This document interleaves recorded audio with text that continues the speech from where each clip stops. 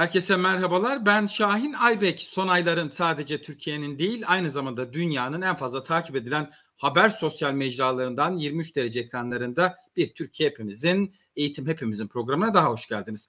Türkiye'de haftada bir düzenli yayınlanan eğitim programı olmamasına rağmen haftada 14 çekim 7 yayınla Türkiye'nin en önemli konusunu yani eğitime 23 derece ekranlarında derecesiz bir şekilde konuşmaya devam ediyoruz.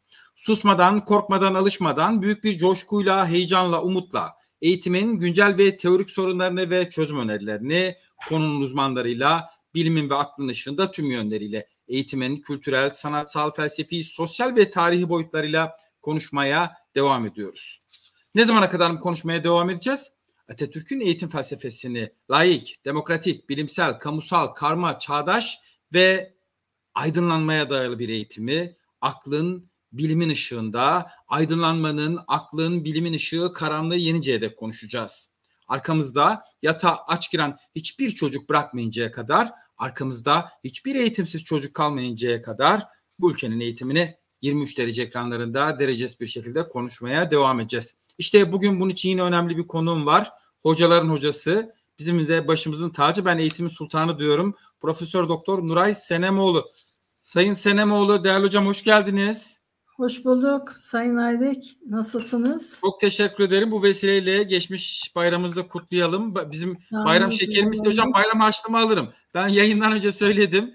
buradan canlı yayında bayram harçlığının sözünü alayım ama Belki... gerek yok. Sizin zaten Türk eğitim sistemine vermiş olduğunuz emekler harçlığın ötesinde ana kapital gibi duruyor. Hocam e, çok teşekkür ediyorum. Ben bayramda da ödevimi yaptım ama siz önemli bir konuyu çalışalım demiştiniz bayramdan sonra. Velilere ev ödevi, ev ödevi nasıl olmalıdır, nasıl olmamalıdır? Hocam her süreçte, her bakan değişiminde, her karneler günü yaklaştığında sürekli bir şekilde ev ödevi olmalı mı, olmamalı mı vesaire diye konuşulur. Konunun uzmanı sizsiniz. Yıllardır eğitimin içindesiniz gerek teorik gerek pratik olarak. Hocam ev ödevi nedir, ne değildir? Sağ olunuz, var olunuz e, Sayın Aybek. Bu ev ödeviyle ilgili e, dediğiniz gibi her bakan geldiğinde kendine göre bir düzenleme yapıyor. E, ve ev ödevi olmalı mıdır, olmalı mı, olmamalı mıdır e, konusu tartışmaya açılıyor. Ev ödevi nedir? Aslında ev ödevi e, çocukların okulda öğrendiklerinin, e, öğrendikleri özelliklerin kalıcılığını sağlamak üzere evde de tekrar etmelerini, anlamlı tekrar etmelerini ve yapılandırmalarını unutmamalarını yapılandırarak e, uzun süreli belleğe göndermelerini anlamlı yapılandırarak uzun süreli belleğe göndermelerini sağlayan e, çalışmalardır aslında.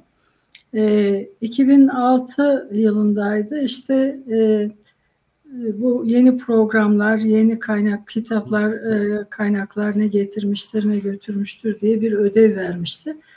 Öğretmen Dünyası dergisi e, bir panelde. Orada e, demiştim ki yeni programlar ve yeni kitaplar ne getirmiştir? Velilere bir takım ödevler getirmiştir demiştim. Çok haklı çıktım. Şimdi 2006'dan 2024'e çok var hocam niye oraya döndünüz diyeceksiniz ama değişen pek bir şey olmadı maalesef. Neden yıllarda, hocam? Neden öyle düşünüyorsunuz? Şöyle o yıllarda e, karşılaştığım e, tesadüfen karşılaştığım e, bir diş hekimi arkadaşım 3. sınıfa giden çocuğu vardı. E, o yıllarda değil de biraz daha sonraydı yani 2010'lu yıllarda. E, dedi ki e, hocam öyle bir ödev vermişler ki işte e, kendinize özgü e, kapı e, şey yapın kapı e, seçin ve kapı mimarisi oluşturun kapı çizin kendinize özgü yani evet, evet. çocuklar kendi evlerinin kapısını e, mimari özellikleri dikkate alarak komşularının kapılarını da dikkate alarak çekecekler fotoğraflarını ve kendilerine özgü kapı oluşturacaklar. Şimdi ilkokul 3. sınıftaki çocuklar. Komşuları kim? Apartmandaki e, yaşayan e, kapılara gidecekler, fotoğrafını çekecek çocuk. E, çocuk e, bütün apartman tarafından tanınıyor mu? Bir. İkincisi tanınıyor olsa bile her kapının e, fotoğrafını çekerken neden çekiyor diye soracak komşu. E, aslında komşularda da söyleme sahip. Yani haberlerde çokça duyuyoruz. Tacizcisi var, iyi niyetlisi var. Pek çok insan yaşıyor ve apartmanda hangi niteliklere e, sahip insan yaşadığını bile bilmiyoruz. Bu kapıların fotoğrafını çekecek ve de e, kendine özgü bir hı hı. kapı mimarisi oluşturacak. Şimdi bu çocuğa verilecek bir ödev değil, veliye verilecek bir ödev. Veli bile çekinerek yapacaktır bunu. Ama buradan şunu mu anladım hocam? Veliye bile verilecek bir ödev dediniz ya. Akşam Veli, az önce işte. Veliye bile verilecek bir ödev değildir. Ne kazandıracak çocuğuma yani? Hocam ilkokul, kızım ilkokul üçüncü sınıftaki çocuğa. Tam ha. konudan bahsedeyim. Kızım ilkokul birinci sınıfta biraz önce yemek yerken günü değerlendirmesini yaparken hiç ilgisiz bir şekilde konuyu açtı. Dedi ki baba biliyor musun dedi. İşte isim vermeyeyim şu an bizi izliyor da Hı-hı. Bilmem kim dedi sınıf arkadaşlarından biri. Ödevlerini annesi yapıyormuş dedi. Ya da işte babası yapıyormuş şu kısmı. Nasıl yani dedim. Çocuk bayağı bildiğiniz şeyi anlattı. Yani bir de anne babalara mı ödev veriliyor? Ben şimdi o kısmını da merak ettim. Ha. Yani bu demektir ki anne babaya ödev veriyorsun. Gene e, doktora derslerimden birisinde e, işte bu e, kalıcılığın sağlanması, öğrenmelerin kalıcılığının sağlanması nasıl ödev verilmelidir?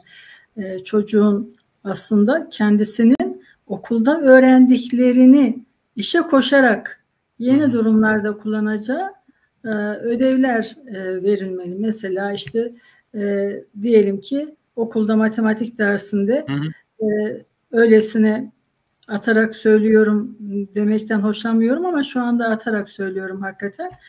Ee, örnek veriyorum demeyeceğim çünkü hani herhangi bir dersten örnek vermiyorum.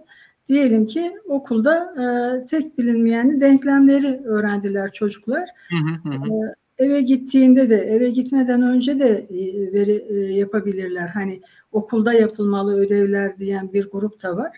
Ama okulda eğer e, çocukların çalışabileceği e, odalar, sınıflar, yerler var. Çocuklara rehberlik edecek öğretmenler varsa akşam 5'e kadar e, o sırada çocuklar bu ödevleri kendileri de bireysel olarak yapmalılar. E, bir rehber eşliğinde e, ama bireysel olarak yapacaklar. Diyelim ki yap- yapacakları yer yok. Yani böyle olanakları yok. E, eve e, gittiler Evde çocuk bu ödevi keyifle yani öğrendiklerini yeni problem durumlarında işe koşacağı ödevler olmalı. Gene tek bilinmeyen denklemlerle ilgili. E, Peki ee, Nuri Hocam bu bağlamda şunu merak ediyorum. Az önce de bununla ilgili bir şey söylediniz. Bizi şu an izleyen yüz binlerce sıradan 23 derece velisi için sorayım. Bu söylediklerinizden şunu anlıyorum. Evet ev ödevi olmalı ama bunun belli bir niteliği olmalı. Ev ödevlerinin niteliği nasıl olmalı? Böyle bir genel soru sorayım. Sayın Hocam? Ev ödevi niteliği çocuğun okulda kazandığı özelliklerin kalıcılığını sağlayacak nitelikte. Gene bu bayram tatili sırasında işte karşılaştığım e, ziyarete gelen e, çocuklardan e, ortaokul öğrencileri var, işte ilkokul öğrencileri var, lise öğrencileri var. Dolayısıyla ev ödevleri ne işlerine yarıyor? Kimileri ev ödevden ödev yapmaktan çok mutlular. Evde şunu ifade ediyor. E, halk ağzıyla söyleyeyim. E, öğrendiklerimi pekiştiriyorum ödevle. Pekiştirmek demek kalıcılığı sağlamak demek ona göre. Yani ödev çocukların öğrendiklerini kalı, öğrendiklerinin kalıcılığını sağlayacak nitelikte olmalı. O gün kazandığı özelliklerin kalıcılığını sağlayacak nitelikte olmalı. Yoksa efendim evler yapılsın, üç boyutlu Proje deyince üç boyutlu maketler anlaşılıyor ve bu maketleri de işte biraz önce söylediğiniz gibi analar, babalar, e, şeyler e, ya da yakın arkadaşlar hatta e, mimarlar yapıyor. Bu mimarların yaptığı ödevlere de rastladık. İşte erken yaşlarda ampul elektrik bağlantısı oluşturmayı elektrik bağlantısı oluşturacak yaşta e, ki çocuklara verilecek ödev. Her yaştaki çocuğa verirse e, o zaman çocuk çarpılmasın diye ana baba devreye giriyor. Yani üç boyutlu olması şart değildir. Proje deyince aslında mesela okulu güzelleştirme projesi de bir e, ev ödevi olarak işte aileyle birlikte aileyi de katarak, ebeveyni de katarak ya da yakın e, ta, yakın e, yetişkinleri de katarak e, bu babaanne olabilir, anneanne olabilir, dedeler olabilir. E, okulu güzelleştirme projesi yapılabilir. Her e, çocuk kendi ailesi içinde okulun güzelleştirilmesine ne gibi katkıda bulunacak? Onu çalışırlar, gelirler. E, işte saksıda çiçek mi getirecekler, ağaç mı alıp e, dikecekler, e, ne yapacaklar da okulu güzelleştirecekler ya da sınıflarının e, bulunduğu alana ait e, bahçeyi, bahçelerini güzelleştirecekler.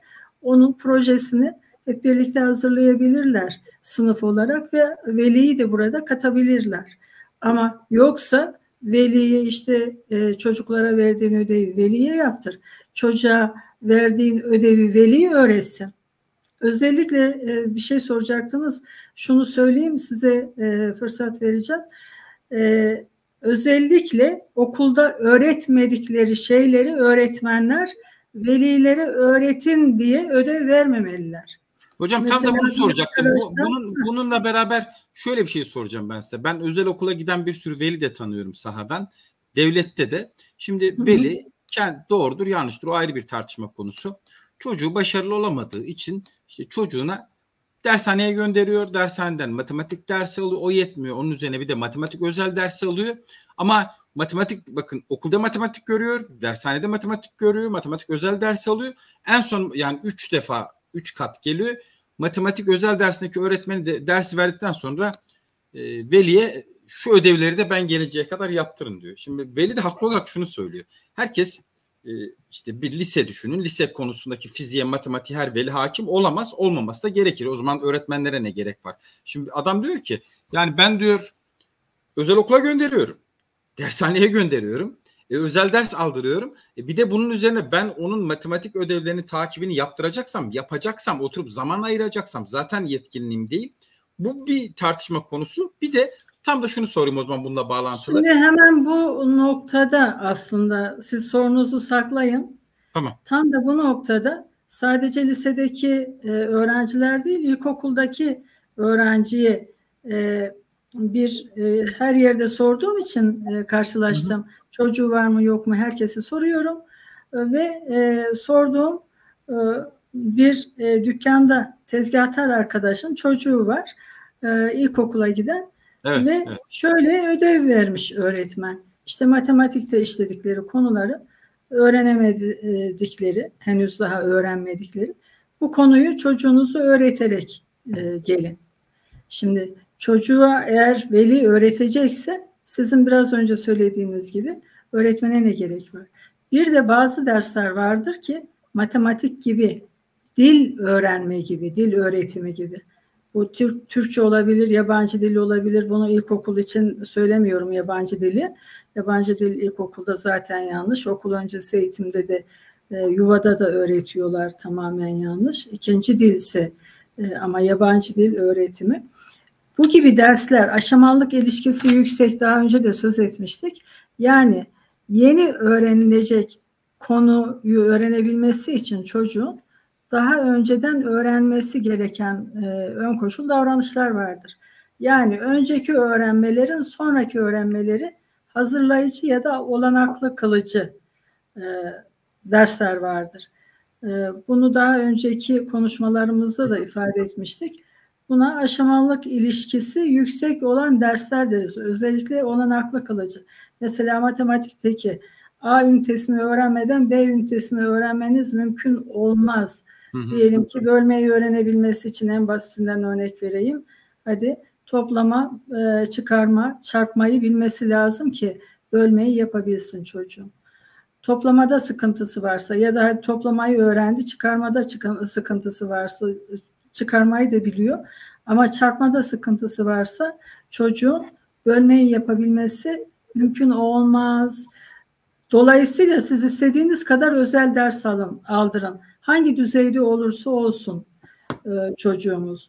İlkokulda, ortaokulda, lisede, üniversitede önceki öğrenmeleri tamamlamadan sonraki öğrenmelere geçtiyse çocuk kendi başına da ne kadar çalışırsa çalışsın, o bir hocayla da ne kadar çalışırsa çalışsın, ön koşulu öğrenmeler tamamlamadan yeni öğrenmeler gerçekleşmez. Nuray Hocam şunu doğru mu anladım? O zaman sizin bu söylediklerinizden şunu mu anlıyoruz? Ülkemizde hem öğrencilerin hem velilerin e, ödevler bakımından bir takım problemler yaşıyorlar. Evet. Somut olarak bunlar nelerdir? Bu arada o kadar akıcı ki programı bitirmek üzereyiz. Son 10 dakikaya gelmişiz hocam. Size son kaç dakika? Son 10 dakikamız. Son iki sorum var zaten.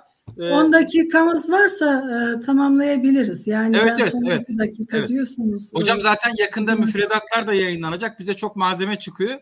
Çok konuşacak konu olacak. Yakında açıklayacaklar. Şimdi ee, e, şu, pardon biraz önceki sorunuzu sorabildiniz mi? Hani Evet evet iç içeydi hocam. Şu an şunu merak ediyorum. Günümüzde somut olarak e, ev ödevlerinin niteliği bakımından öğrencilerin, bizi şu an izleyen velilerin yaşadığı sorunlar nelerdir? Neler yaşıyor? Evet, biraz önce de söylediğimiz gibi velilere okulda öğretilmeyen konuların velilere ödev olarak verilmesi. Bu son derece yanlış. Gene doktor öğrencilerimden e, birisinin e, çocuğu, çocuğu değil pardon kardeşinin e, şeyini getirmişti, defterini getirmişti. Daha yeni ilk okuma yazmayı öğreniyor. Veliye not yazmış öğretmen. E, işte bu sayfayı e,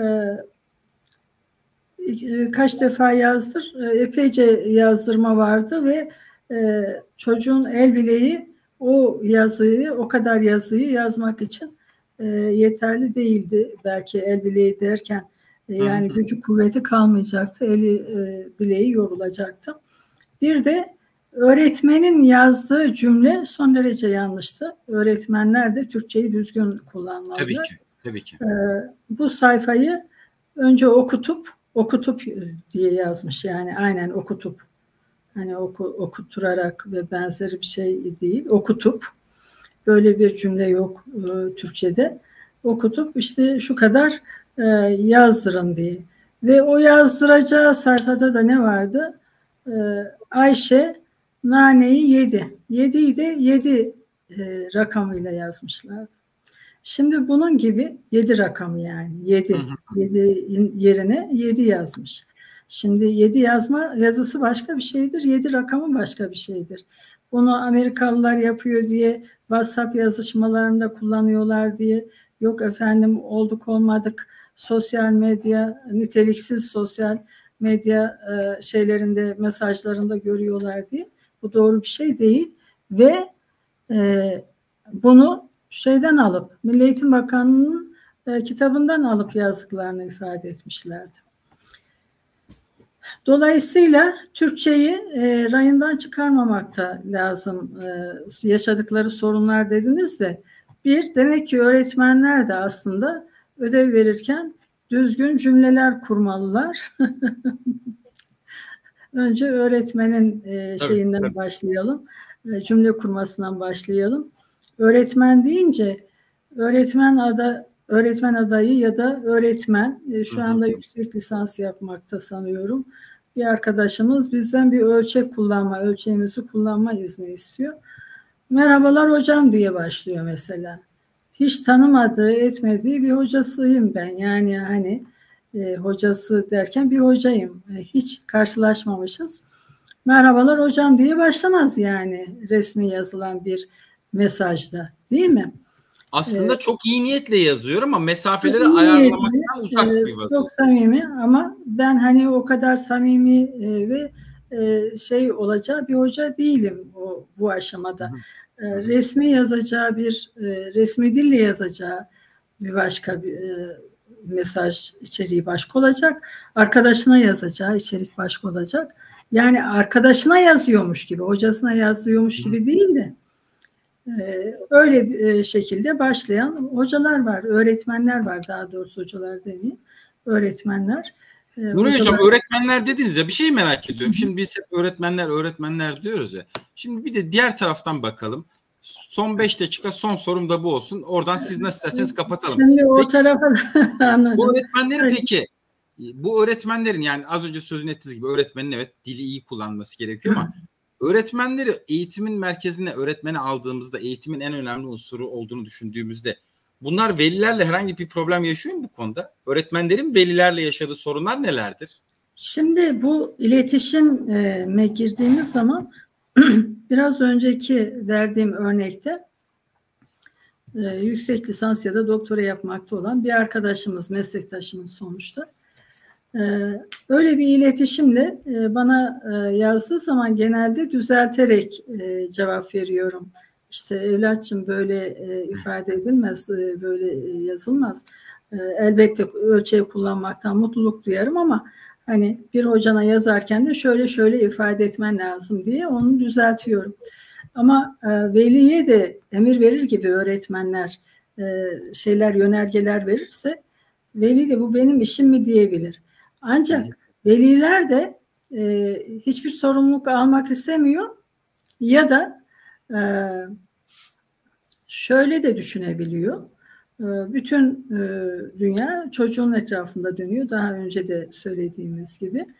Ee, her koşu, her durumda veli e, öğretmeni şikayet eden veliler de var. Cimere, bümere her neyse bir sürü merler var.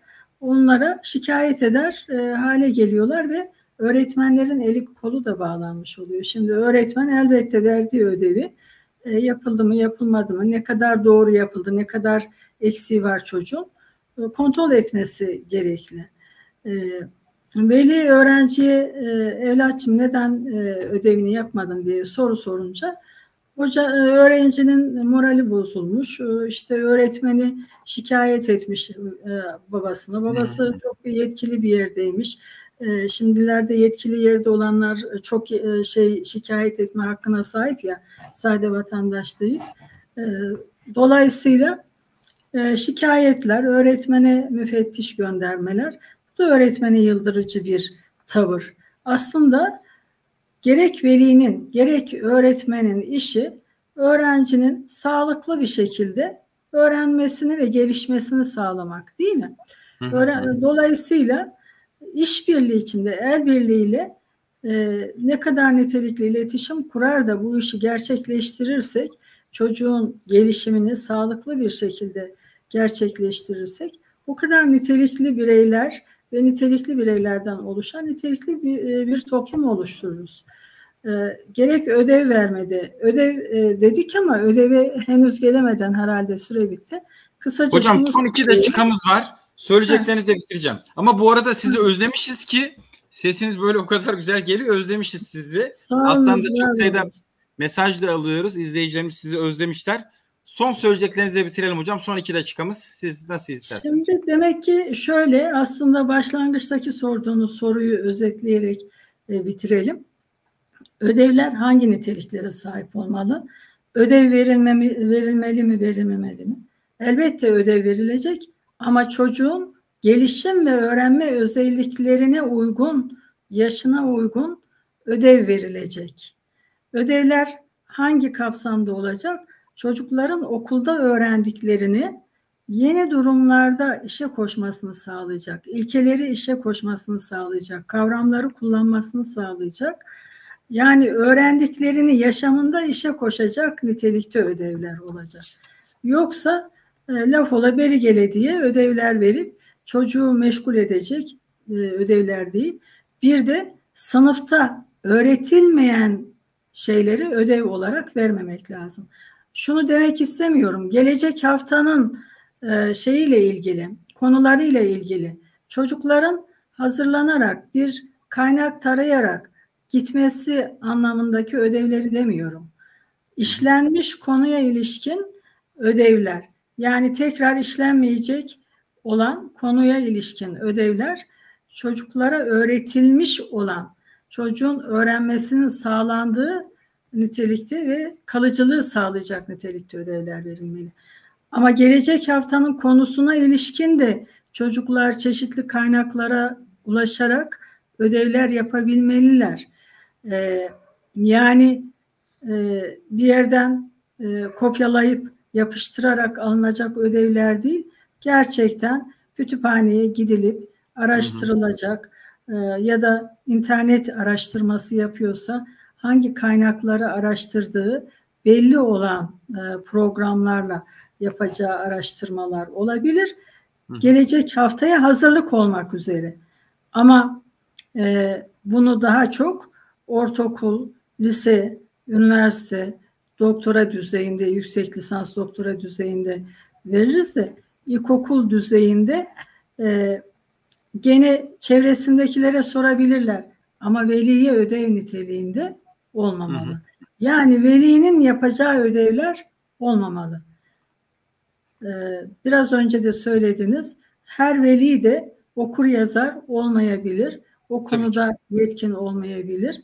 Yeniden e, yani çocuğun başında durup e, ödevleri onun yapması, e, velinin yapması değil, çocuğun kendi başına e, yapması, başarmasını sağlamamız. Yapamıyorsa da eksiği olduğunu öğretmenin orada görüp o eksikleri tamamlamasını sağlaması lazım. Öğretmenin tamamlamasını sağlaması lazım. Yani öğretmen çocuğun bu tamamlama işini yapabilmesi için yeniden uyarıcılar, yeniden kaynaklar, yeniden ipuçları, yeniden tamamlama eğitimini yapması lazım öğretmenin. Hocam çok teşekkür ediyorum. Sağ olun, var olun katıldığınız için değerli hocam. Ben teşekkür ederim. Sağ olunuz, var olunuz. Herkese sağlıklar, esenlikler toplumumuza da, dünyaya da diliyorum. Hoşça kalınız, sağlıkla kalınız. Teşekkür ediyorum. Evet sevgili 23 derece izleyicileri bir Türkiye hepimizin, eğitim hepimizin programının daha sonuna geldik. Son ayların sadece Türkiye'nin değil aynı zamanda dünyanın en fazla takip edilen haber sosyal mecralarından 23 derece ekranlarında bu akşamki konum Profesör Doktor Nuray Senemoğlu'ydu. Sayın Senemoğlu'yla velilere ev ödevi, ev ödevi nasıl olmalıdır, nasıl olmamalıdır başlığı altında konuşmaya çalıştık. Evet, Türkiye'de yeryüzü aşkın yüzü oluncaya dek 23 derece ekranlarında bu ülkenin eğitimini konuşmaya devam edeceğiz. Dünyayı ve Türkiye eğitim kurtaracak. Ben Şahin Aybek. Herkese iyi ve eğitimli bir gün diliyorum. Bilimle kalın.